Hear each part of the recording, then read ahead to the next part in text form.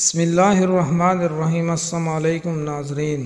अहमद की वाक़ात के साथ एक वाक़ पेटेट्रिक रोल का ताल्लुक फ्रांसीसी मिलिट्री से था। इनको नेटो अफवाज का हिस्सा बनाकर शाम में भेजा गया था। फरंगियों के जंगी तैयारों ने शाम के हंस हँसते बसते शहरों को दहशतगर्द हुकूमत से निजात दिलाने और आवाम को इकतदार की मुंतकली के नाम पर मलिया मेट करना शुरू कर दिया। शामी माए, बहने बेवा यतीम होना शुरू हो गए और मुसलमान ममालिक चैन की नींद सोते रहे। तो इसके बाद नेटो फोर्सेस ने जमीनी फौज के कुछ दस्ते भी शाम में भेजे, जिनमें फ्रांसीसी हाथून बेटेचरिक रोल भी शामिल थी। बेटेचरिक रोल मज़हब यहूदी थी। इस्लाम और मुसलमानों से इंतहा की मुतनफ़र थी। वो चुन चुन कर मुसलमानों के लिए कबिल एहतराम खास मकाम को निशाना बनाती थी और रोज़ रात को शाम की लटी पुटी नौजवान लड़कियों को अपने मता फौजियों के हौस का निशाना बनाती थी। बायस हैरत थी कि ये सब कुछ वो अपना मजहबी फरीजा समझ कर करती थी।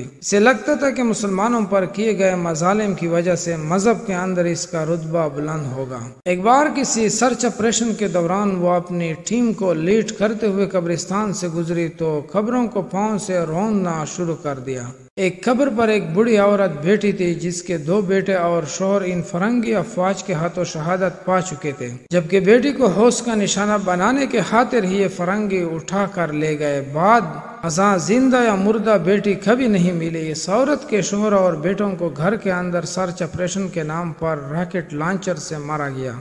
मौत इस कदर दर्दनाक थी कि तीन जिस्मों के टुकड़े मिलाकर भी एक मुकम्मल लाश नहीं बन पाए और फिर इन सब टुकड़ों को एक ही खबर में उतारा दिया गया।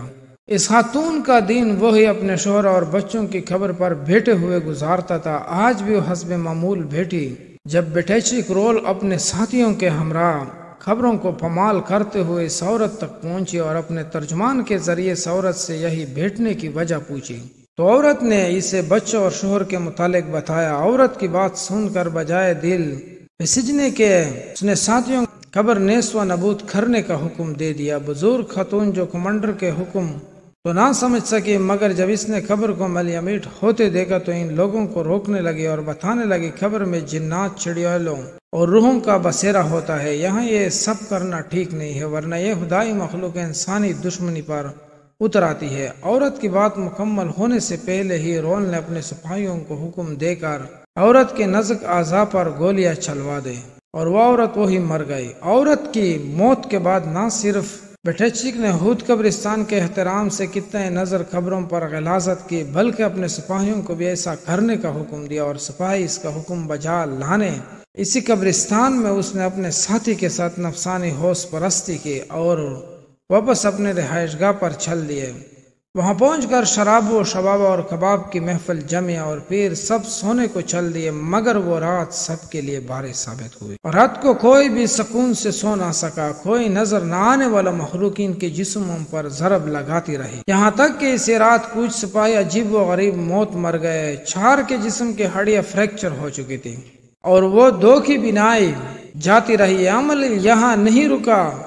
आए रोज बिटचिक रोल के सिपाही सोते हुए गर्दन तोड़ जाने से सर पर हीनी हथियार की चोट लग जाने और जहर खान लेने की वजह से मर जाते थे। जब सोने से पहले सब लोग सेहतमंद होते, महज चार के दिन अंदर ही सिपाहियों ने बेटे रोल के नीचे काम करने से इनकार कर दिया। दूसरी तरफ़ मुस्लिम होते हुए भी सिपाहियों का इस कदर अजियतनाक अंदाज में मर जाना मुहकमे के लिए भी हतरे की घंटियाँ बजने लगी और बेटेचिक रोल के खिलाफ तहकीकत शुरू हो गई। बेटेचिक रोल जो खुद इस गैर मुराई थकत के निशाने पर थी, वो जिस्मानी अजियत का शिकार थे। कभी इस जिस्म पर रकट लग जाते थे। कभी इस जिस्म पर खाट लग जाते थे, कभी इसको मुख्तलिफ़ जहरीले कीड़े ढांस लेते थे, कभी चोट पहुँचा कर इसकी हड्डी तोड़ जाती थी। इस दौरान तहकीक ही वो दिमागी तोजन खो बैठी। और इसे मुलाजमत से बर्खास्त करके मेंटल हॉस्पिटल मुंतकिल कर दिया गया। मगर अस्पताल के अंदर भी इसके जिस्म पर खाट लगना, जहरीले कीड़े का ढांस लेना और जिस्म के कोई न कोई हड्डी फ्रैक्चर हो जाना जारी रहा।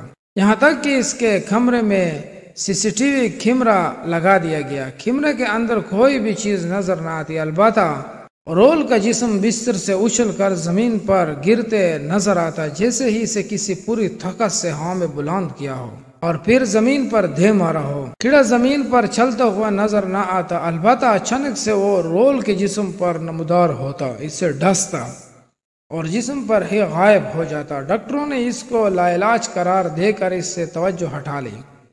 और इसके माजी पर तहकीक शुरू कर दी। जब वो कब्रिस्तान वाले वकी पर पहुँचे तो इन्होंने मुस्लिम कराम और मुस्लिम डॉक्टर की हिदमत हासिल कर ली।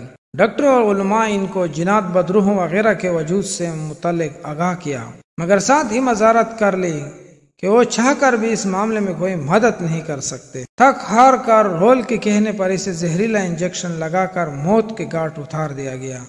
मगर अस्पताल का अमला और इसके साथ ही सिपाही आज भी इसकी अजियत को याद करके लरस जाते हैं। इससे साबित होता है कि जिनात यूरोप की लड़कियों पर भी आते हैं।